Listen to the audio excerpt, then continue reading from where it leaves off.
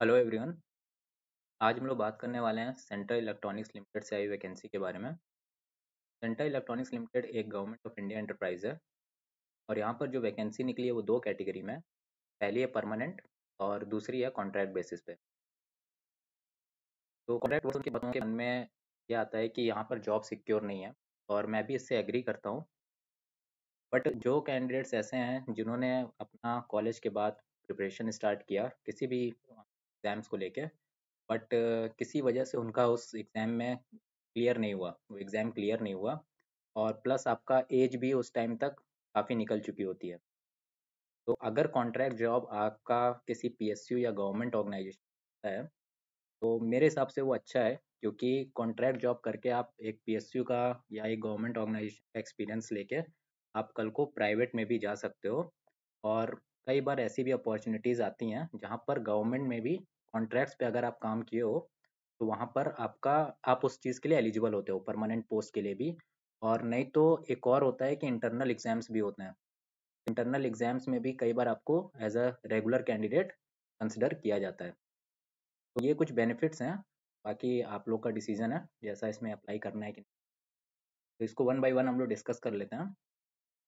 तो permanent post की बात करें तो पहला है डेप्यूटी इंजीनियर सेरेमिक फ़ील्ड ये ग्रेड का पोस्ट है और यहाँ पर दो वैकेंसीज हैं एससी के लिए वन और एसटी के लिए वन इन्होंने रोल्स एंड रिस्पॉन्सिबिलिटीज डिफाइन किया है अगर आप इस पोस्ट पे ये जॉब लेते हो तो। एक्सपीरियंस की बात करें तो यहाँ पे इन्होंने बी बी टेक मांगा है सेरेमिक मेटलर्जी मैकेनिकल इंजीनियरिंग यहाँ पे आपका ग्रेजुएशन में ओवरऑल 55 परसेंट मार्क्स होने चाहिए।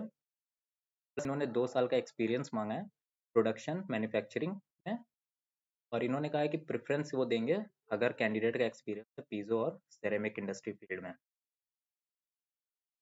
सेकेंड पोस्ट है deputy engineer production and maintenance ये भी इवन ग्रेड का है। यहाँ पर टोटल तीन वैकेंसी है ओबीसी में दो और एसटी में वन है।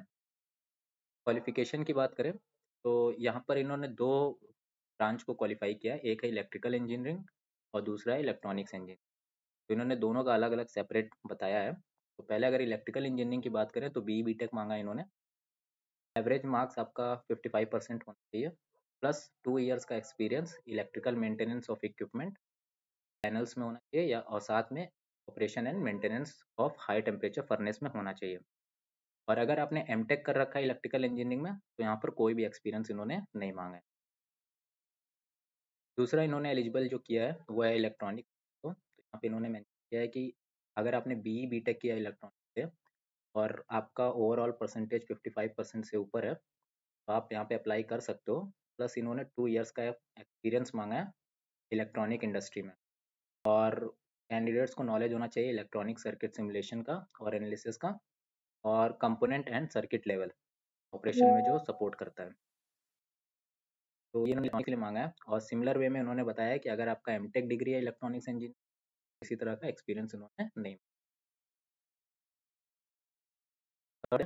ये कॉन्ट्रैक्ट बेसिस पे और इंजीनियर ट्रेनिंग यहाँ पर एक वैकेंसी है तो आपको डेप्यूटी इंजीनियर के पोस्ट पर आपको रिक्रूट किया जाएगा या फिर इंजीनियर ट्रेनिंग दोनों के लिए क्राइटेरिया थोड़ा अलग है तो आपको यहाँ पे अभी बता दो तो लिए जो एलिजिबिलिटी इन्होंने मांगा है, वो है B B tech mechanical metallurgy material ceramic engineering overall percentage 55 percent and above इन्होंने रखा है। और एक्सपीरियंस टू इयर्स का मांगा। है इन्हीं फील्ड्स में आपका मैकेनिकल मेटलर्जी या मटेरियल सिरेमिक इंजीनियरिंग में अगर कोई आपका एक्सपीरियंस है तो टू ईयर्स का एक्सपीरियंस उन्होंने। और एम टेक अगर आपके पास एम टेक डिग्री है मैकेनिकल मेटलर्जी मटेरियल्स या सिरेमिक इंजीनियरिंग तो आपको कोई भी क्वालिफिकेशन एक्सपीरियंस नहीं प्लस इन्होंने बोला है कि आपका लेकिन एक्सीलेंट रिटर्न वर्बल कम्युनिकेशन और प्रेजेंटेशन स्किल्स होना चाहिए। और साथ में आपका प्रोफिशिएंसी वर्ड एक्सेल और पावर पॉइंट में होना चाहिए। इंजीनियर ट्रेनिंग जैसा हमने बोला था तो यहाँ पे इंजीनियर ट्रेनिंग के लिए इन्होंने बताया है कि ब्रांचेस तो सेम रखा है। B B tech mechanical metallurgy material ceramic engineering में ओवरऑल परसेंटेज 55 परसेंट एंड को बट यहाँ पे कोई एक्सपीरियंस नहीं है। तो जो लोग फ्रेशर्स हैं, अगर उनको रिक्रूट किया जाता है तो ये इंजीनियर ट्रेनिंग पे एक्सपीरियंस वालों के लिए डेप्यूटी इंजीनियर है और विदाउट एक्सपीरियंस वालों के लिए इंजीनियर ट्रेनिंग है। ये इन्होंने डिज़ायरेबल रखा है तो मैंडेटरी नहीं है। क्या है कि कैंडिडेट्स का अगर एक्सपीरियंस डिफेंस लेबोरेटरीज में है, और कैंडिडेट्स को हिंदी, तेलुगु और इंग्लिश आनी चाहिए, क्योंकि ये पोस्टिंग इनकी हैदराबाद में है। तो सिर्फ़ यहाँ पर ये बताया इन्होंने कि सीरियल में पोस्ट है, यानी डेप्यूटी इंजीनियर और इंजीनियर सिर्फ़ हैदराबाद लोकेशन पर रहेगी, बाकी सभी जो आपके पोस्ट हैं वो साहिबाबाद यानी कि गाजियाबाद, उत्तर प्रदेश में रहेगी। फोर्थ का जो पोस्ट है, वो है डेप्यूटी इंजीनियर, सिस्टम्स में, कॉन्ट्रैक्ट बेसिस है, इवन ग्रेड, टोटल तीन वैकेंसी है, ओबीसी में दो एस में वन। यहाँ पे इन्होंने बताया B B tech electrical, electronics telecommunication या mechanical engineering. Overall percentage 55 percent and above रहना चाहिए। और दो साल का इन्होंने एक्सपीरियंस मांगा है मैन्युफैक्चरिंग इंडस्ट्री या फिर आपने एम किया हुआ है electrical electronics telecommunication engineering में, या फिर कोई भी एक्सपीरियंस इन्होंने। अब सैलरी की बात करें तो ईवन ग्रेड पे आपको पता है पीएसयू में फोर फोर्टी थाउज़ेंड से लेकर वन लाख फोर्टी थाउज़ेंड तक रहता है। फोर्टी थाउज़ेंड यहाँ पे आपका स्टार्टिंग बेसिक पे रहेगा। सी आपके यहाँ पे रहने वाली है ten point two four lakhs per annum और वहीं पे जो कॉन्ट्रेक्चुअल पोस्ट हैं, अगर आप वहाँ पर रिक्रूट होते हो तो डेप्यूटी इंजीनियर की नाइन लैक्स पर एनम वाली है।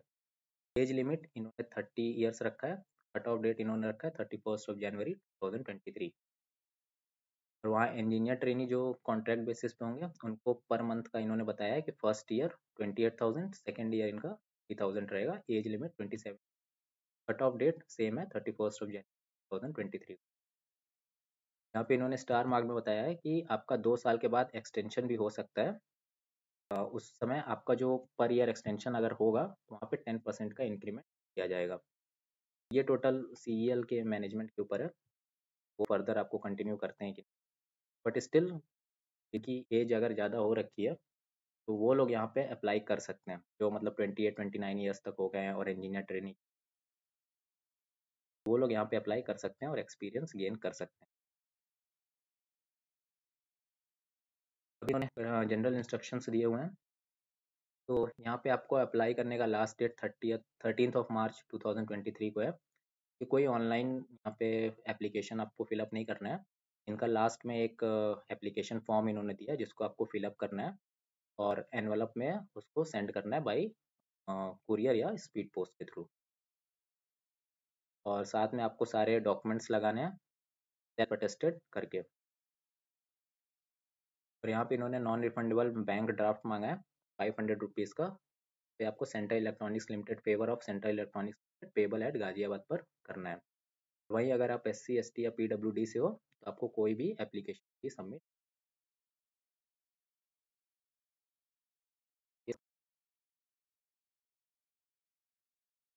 यहाँ पे अगर एक पोस्ट से ज़्यादा के लिए अप्लाई करना चाहते हो तो आपको दो एप्लीकेशन इन जनरल जो सभी नोटिफिकेशंस में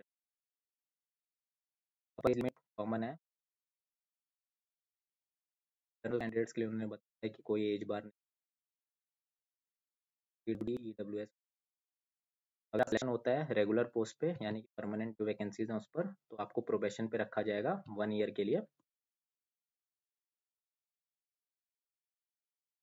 ये ऑलरेडी पी या गवर्नमेंट दिया। अगर आप प्राइवेट ऑर्गेनाइजेशन में काम किए हो और आपका एक्सपीरियंस क्राइटेरिया फुलफिल कर रहे हो तो यहाँ पे इन्होंने बताया कि आपका सीटीसी जो है प्रेजेंट में सिक्सटी परसेंट या ज़्यादा होना चाहिए करेंट सी टी सी। अगर हम इसको यहाँ समझ तो जैसे मैंने डेप्यूटी इंजीनियर पे सीटीसी रखा है ten point two four lakhs जो आपको मिलेगा तो इसका सिक्सटी परसेंट यानी कि approx six lakhs and above आपका सीटीसी प्रेजेंट में होना चाहिए। और वहीं अगर आप कॉन्ट्रैक्ट पे जा रहे हो तो नाइन लैख रखा है तो यहाँ पे five point four per annum आपका सी प्रेजेंट होना चाहिए।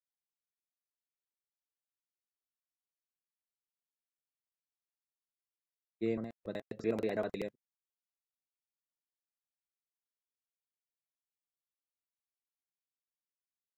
यहाँ पे इन्होंने बताया है कि रिटर्न टेस्ट ये लोग कर सकते हैं अगर लार्ज एप्लीकेंट्स रहे, अदरवाइज़ डायरेक्ट इंटरव्यू आपका हो। ये एक अच्छी चीज़ है कि डायरेक्ट इंटरव्यू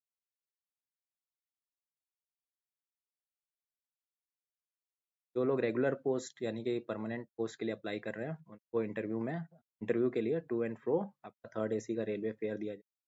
आपको ध्यान रखना होगा कि आपका शॉर्टेस्ट रूट है कि जो आप अपना प्रेजेंट एड्रेस एप्लीकेशन फॉर्म में डाल रहे हो, वहाँ से लेकर आपका जो इनका सेंटर रहेगा इंटरव्यू उसमें भी गाजियाबाद रहेगा। गाजियाबाद, वहाँ तक आपका to and fro third AC का रिम्बर्समेंट देना पड़ेगा पॉइंट नंबर ट्वेंटी वन हमने कवर कर लिया। है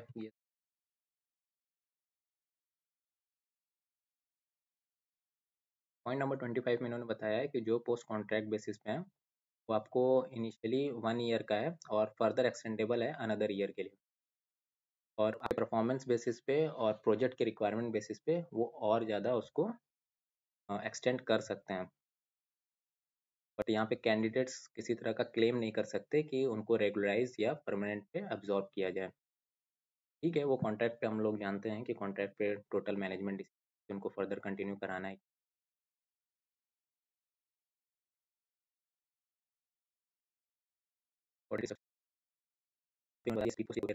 पे आपको ऊपर में लिखना पड़ेगा किस पोस्ट के लिए आप अप्लाई कर रहे हो और उसको सेंड करना ये एड्रेस यहाँ पे लास्ट डेट थर्टीन मार्च है